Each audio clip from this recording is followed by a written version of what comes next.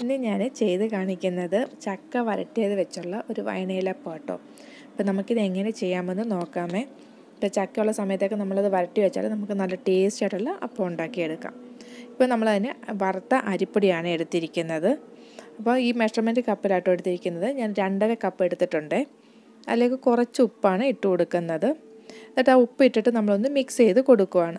അതുപോലെ തന്നെ നമ്മൾ വറുത്ത അരിപ്പൊടിയൊക്കെ എടുക്കുമ്പോൾ നമ്മൾ വെള്ള ചൂടുവെള്ളമൊക്കെ ഒഴിച്ച് കഴിയുമ്പോൾ നല്ലപോലെ കൂടുതലായിട്ട് വരും. അപ്പോൾ നിങ്ങൾക്ക് ഒരു കപ്പ് മതിയെങ്കിൽ അതനുസരിച്ച് എടുത്താൽ മതി കേട്ടോ.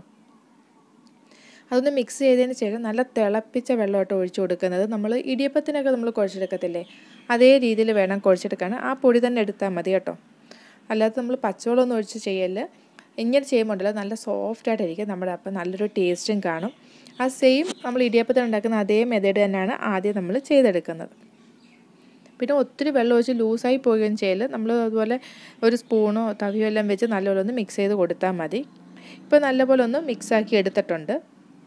ഇനി ഇത് നമ്മൾ തണുത്തതിന് ശേഷം ഒന്ന് ചെറിയ ചൂടിൽ നമ്മൾ കൈ കൊണ്ട് നമ്മൾ കുഴച്ചെടുക്കുകയാണല്ലോ നമ്മൾ ഇടിയപ്പത്തിന് ചെയ്യുന്നത്. അപ്പോൾ അതേ രീതിയിൽ ചെയ്തെടുത്താൽ മതിയേ. അതുകൂടെ നിങ്ങൾക്ക് ഇതിനകത്ത് ഏലക്കാപ്പൊടിയോ ജീരകത്തിന്റെ പൊടിയോ ഒക്കെ ചേർക്കണമെന്നുണ്ടെങ്കിൽ ചേർത്ത് കൊടുക്കാം. ഇത് ഞാനിപ്പോൾ ചൂടൊന്ന് പോകുന്നതിൽ കുറച്ച് സമയം ഒന്ന് അടച്ചു വെക്കുവാണേ. അല്ല നമ്മൾ ആ ചൂടിൽ നമുക്ക് കൈയിട്ട് കുഴച്ചെടുക്കാൻ പറ്റത്തില്ല. അപ്പോൾ ചെറിയ ചൂടായപ്പോൾ നമ്മൾ അതെടുത്തൊന്ന് ഇനി കുഴച്ചെടുക്കാൻ പോവാണ്. അപ്പോൾ നല്ല ഇതായിട്ട് സ്മൂത്തായിട്ട് നമുക്കൊന്ന് കുഴച്ചെടുത്ത് വെക്കണം. നല്ല ചൂടുണ്ടെന്ന് തോന്നുന്നുണ്ടെങ്കിൽ കുഴയ്ക്കാൻ പാടുണ്ടെങ്കിൽ ഇച്ചിരി വെള്ളം എടുത്ത് വെച്ചിട്ട് അതിലൊന്ന് കൈ ഇടയ്ക്കൊന്ന് മുക്കി കൊടുത്താൽ മതി കേട്ടോ. പിന്നെ ഇതിനകത്ത് ഞാൻ പറഞ്ഞ പോലെ ഏലക്കാപ്പൊടിയോ ജീരകപ്പൊടിയോ ഇഷ്ടമുണ്ടെങ്കിൽ ചേർത്ത് കൊടുക്കാം.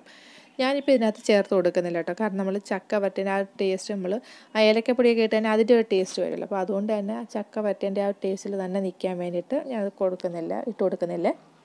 ഇപ്പോൾ ഏലക്കപ്പൊടിയൊക്കെ ഇഷ്ടമുള്ളതെങ്കിൽ ഒരു കാൽ ടീസ്പൂണൊക്കെ ഇട്ട് കൊടുക്കാം. ഇപ്പോൾ നമ്മളിത് കുഴച്ചെടുത്ത് വെച്ചിട്ടുണ്ട്. ഇങ്ങനെ കുഴച്ചതിന് ശേഷം ഇതിലേക്ക് നമ്മൾ വരട്ടി വെച്ചിരിക്കുന്ന ചക്ക ഇട്ട് കൊടുക്കുന്നത്. അപ്പം നമുക്ക് ഏലക്കാപ്പൊടി വേണമെങ്കിലും ഈ സമയത്ത് വേണമെങ്കിലും ഇട്ട് കൊടുക്കാം കേട്ടോ. അല്ലെങ്കിൽ നമ്മൾ ആദ്യം ആ പൊടി ഇട്ട് കൊടുത്തിട്ട് അതിനകത്തോടെ ചൂടുവെള്ളം ഒഴിക്കുന്നതിന് മുന്നേ എല്ലാവരും ഒന്ന് മിക്സ് ചെയ്ത് വേണമെങ്കിലും എടുക്കാം.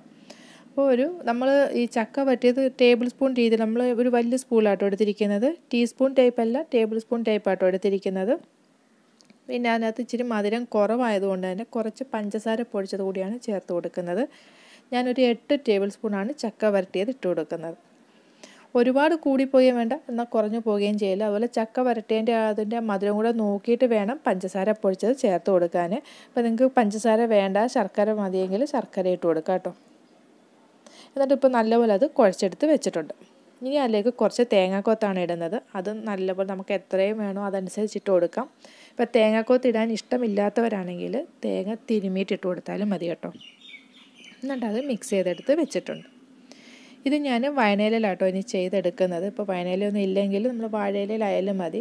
ഈ വയനയിലിൽ തന്നെ ചെയ്തെടുക്കുമ്പോഴും നല്ലൊരു ടേസ്റ്റ് തന്നെ കേട്ടോ ഒരു പ്രത്യേക ഒരു മണം ഉണ്ടല്ലോ ഇലയ്ക്ക് തന്നെ. അപ്പോൾ അതുകൊണ്ട് തന്നെ നല്ലതാട്ടോ ഇത് കഴിക്കാൻ അപ്പോൾ ഇത് നമുക്കിനി കുറേശ്ശെയായിട്ട് നമുക്കിതിലിട്ട് ആക്കി കൊടുക്കാം. ഇത് നമ്മൾ ആദ്യമേ ഇതെല്ലാം ഇതൊന്ന് ഇലയിൽ പരത്തിയെടുത്തതിന് ശേഷം പിന്നെ നമുക്ക് എല്ലാ എല്ലാം ആക്കിയതിന് ശേഷം പിന്നെ നമുക്കത് ഇഡലി പാത്രത്തിൽ വെച്ച് ആവിയേറ്റി എടുത്താൽ മതി.